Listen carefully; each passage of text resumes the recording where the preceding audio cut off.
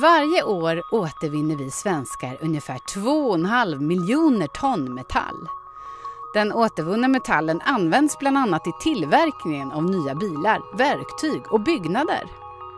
Idag sker den här processen för hand, vilket är ineffektivt. Men företaget Sveria Kimab i Kista de har hittat en lösning på det problemet. Och den lösningen är laser.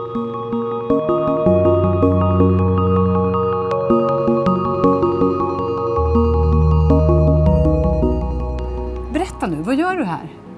Ja, det vi gör är att vi utvecklar teknik för metallåtervinning kan man säga.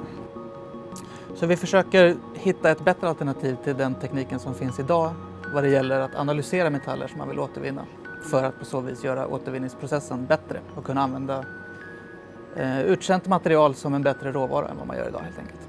Vi pratar ju ofta om ett begrepp som vi kallar för urban mining som handlar om att morgondagens råvaror kanske inte finns i våra berg till exempel utan de finns i våra städer i sånt som vi har kastat och som innehåller mycket av det som vi behöver för att göra nya saker.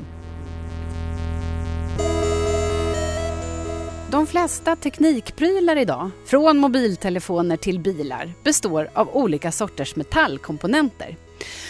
Och den metallen vill man såklart återvinna när produkten är uttjänt. När man återvinner metall då mals alla produkter ner till en salig blandning av olika små, små metallbitar. Och sen måste industrin identifiera vad som är vad. Ja, för varför vill man veta vad det är för metall i skroten?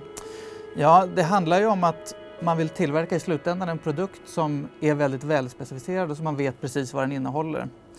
Och då handlar det om att ha rätt ingredienser så att säga och kunna stoppa in sånt som man vet precis vad det är också för att vara säker på att man får det man vill i slutändan. Mm. Det är som ett bageri där man, eh, jag har jobbat på bageri, de här dammsugarna som de kallas, de blir ju olika varje gång och de ja. smakar olika varje gång. Konsistensen blir olika varje gång. Och även när det gäller metallprodukter så finns det ju olika sådana produkter som har olika krav på vad det är man stoppar i så att säga. Det ja. finns dammsugare i stålindustrin också. Men vet man då inte vad man har då får man använda något sånt här instrument för att ta reda på vad det är. Så det här är ett instrument som man trycker emot sin bit som man vill analysera och sen trycker man in en knapp i 10 sekunder och så får man ett svar på vad det är för metall. Och när man då vet det så kan man sortera den eller använda den på rätt sätt. Mm. Varför är inte det sättet bra då? Eh, problemet med de här är att vi tillverkar idag ungefär en och en halv miljard ton stål per år. Eh, och har man så stora mängder så kan man helt enkelt inte gå omkring med sådana här instrument och ta 10 sekunder på analys. Så vår tanke har ju varit att göra ett analysinstrument som kan på ett automatiserat sätt analysera stora sådana här materialmängder utan att man ska behöva ha en person som går runt med ett sånt här handhållet instrument. Hur snabbt går den här lasern då? Hur snabbt kan den läsa av? Snabbt. Tanken är att man ska köra den på stora löpande materialflöden så att den här kan göra 30 metallanalyser per sekund. Så 30 skrotbitar per sekund. Och i förlängningen då både spara pengar och miljö tänker jag mig. Ja, metaller skiljer sig från många andra material som plaster och sådär. Vi kan återvinna det gång på gång på gång utan att det degraderas på något sätt. Så att materialet i sig blir inte sämre utan det är bara att smälta om det så länge du har koll på vad det är för någonting du hanterar. Så att säga.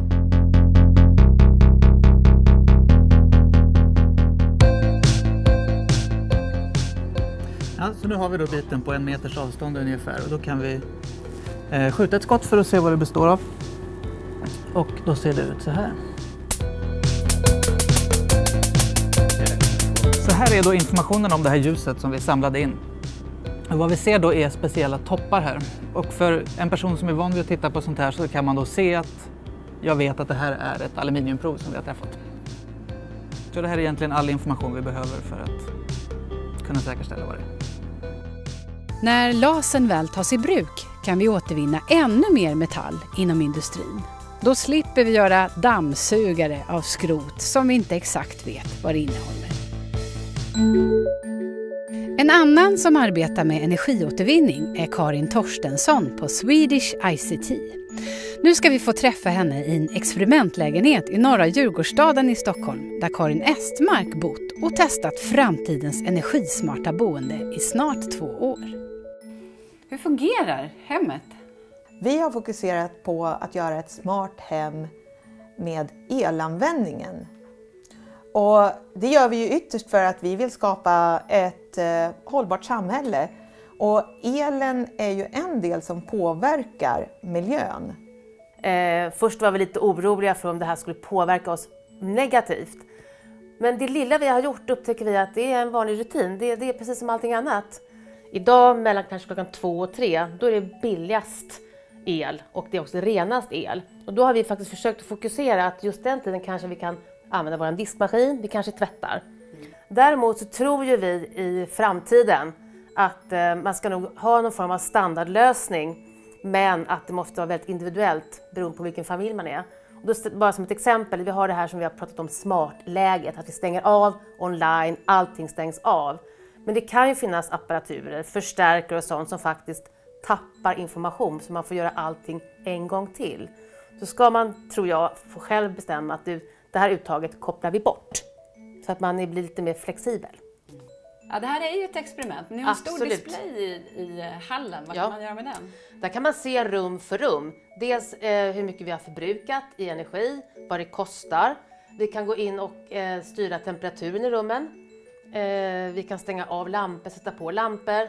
Så den är jättebra. Mm. Jag har med mig fika här. Dammsugare, vill ni inte ha? Nej, jag tar en dammsugare, tack. Om vi fortsätter att leva som vi gör idag skulle vi år 2030 behöva två jordklot för att tillfredsställa behovet av naturresurser. Vi måste alltså bli bättre på att återanvända det vi redan tagit fram för att minska belastningen på vår jord.